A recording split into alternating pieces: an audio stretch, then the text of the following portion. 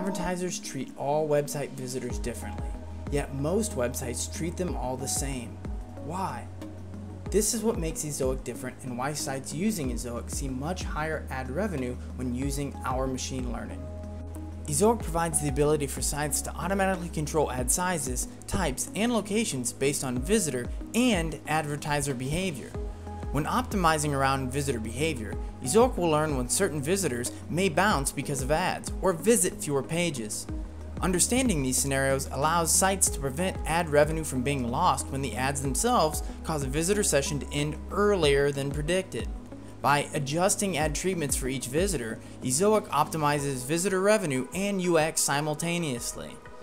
When optimizing for advertisers, Ezoic will control supply and demand for each visitor to get advertisers to increase their bids on a website's ad space. When all visitors see the same ad sizes and locations, they let money fall through the cracks.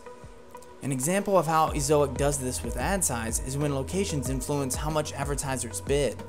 While 300 by 250 ad sizes are common and popular in the USA, 250 by 360 ad sizes are very common and highly competitive among Swedish advertisers. Ezoic automatically adjusts ad sizes to capitalize on which sizes are likely to generate the most revenue from advertisers bidding on different visitor locations. Sites also notice that Ezoic will often show fewer ads to visitors over time. This is because ads dilute each other. Constricting the number of ads on the page strategically over time can increase ad rates and allow publishers to earn more revenue at the same time. Often, device types may impact how content or other ads are viewed. Ads that may be high paying may dilute more value than they add on certain devices.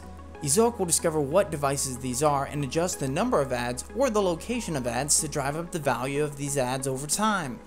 This is just a small number of ways that Ezoic is always performing thousands of optimizations every day for our publishers.